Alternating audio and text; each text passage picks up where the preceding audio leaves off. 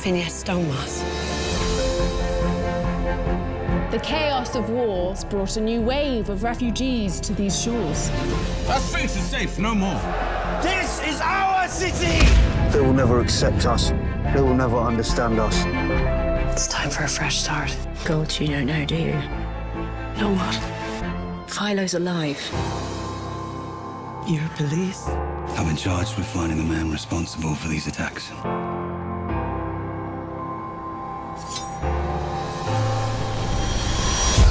You're alive. You left me in the ashes of my homeland. This is where we come alive.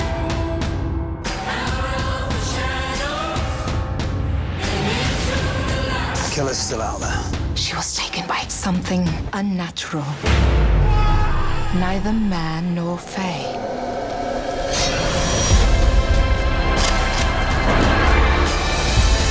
She loves you, and it's going to get her killed.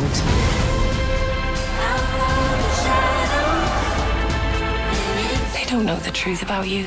A man's no better than the pain he's caused the people he loves and what he's willing to do to set it right. This is where we come alive.